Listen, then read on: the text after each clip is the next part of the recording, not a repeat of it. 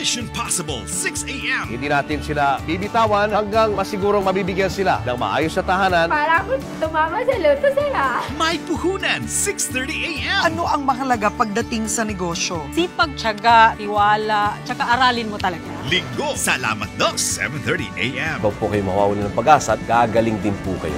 Pag-asa sa umaga.